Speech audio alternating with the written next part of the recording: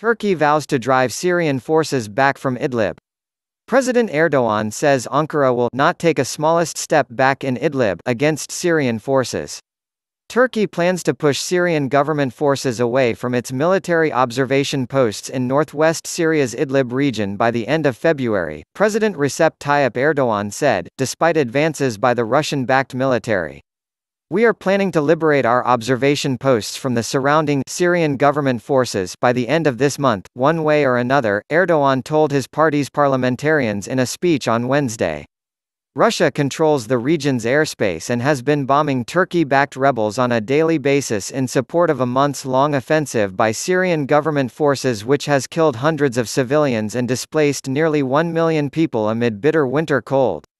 Syrian fighters, backed by the Turkish military, seized the town of Nirab in Idlib this week, according to rebel and Turkish sources, but Syrian President Bashar al-Assad's troops continue to make advances elsewhere in the province. The time we have given to those who besieged our observation towers is running out, Erdogan said. We are planning to save those of our observation posts from the besiegers one way or another by the end of this month. Erdogan said on February 5 that al-Assad's forces must pull back behind a line of Turkish observation posts by the end of February, or Turkey would drive them back militarily. He added, the biggest problem we have is that we cannot use the airspace over Idlib, which is controlled by Russia. Hopefully, we will find a solution soon, he said. The president also said Turkey was adamant to help Syrians displaced from Idlib because of the heavy fighting.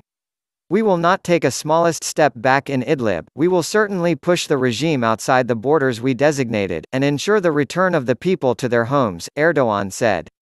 Turkey set up 12 observation posts up around a de-escalation zone in Idlib under a 2017 agreement with Russia and Iran, but several are now behind Syrian government front lines after it launched a major offensive to seize the last rebel stronghold, home to more than 3 million people. Ankara has confirmed as many as 17 Turkish security personnel have been killed, which prompted officials to turn to Russia. Erdogan said the United States had not yet provided support to Turkey in Idlib and he would need to speak to U.S. President Donald Trump about the issue again, broadcaster CNN Turk reported on Wednesday. He said he was told Washington did not have any Patriot missile defense systems to give Turkey for now. Meanwhile, Turkish and Russian officials began a third round of talks in Ankara on Wednesday aimed at reducing tensions in the region. Turkey's state-owned Anadolu News Agency said the talks would continue on Thursday. Two previous rounds in Ankara and Moscow have failed to yield any tangible progress. Russia's foreign ministry expected positive results, RIA news agency cited Deputy Foreign Minister Mikhail Bogdanov as saying, but a Turkish official was not optimistic.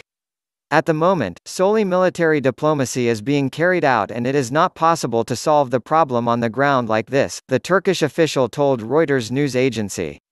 Erdogan also said his proposed summit with the leaders of Germany, Russia and France next week was uncertain, but he would likely meet Russian President Vladimir Putin in Istanbul on March 5 to discuss Idlib.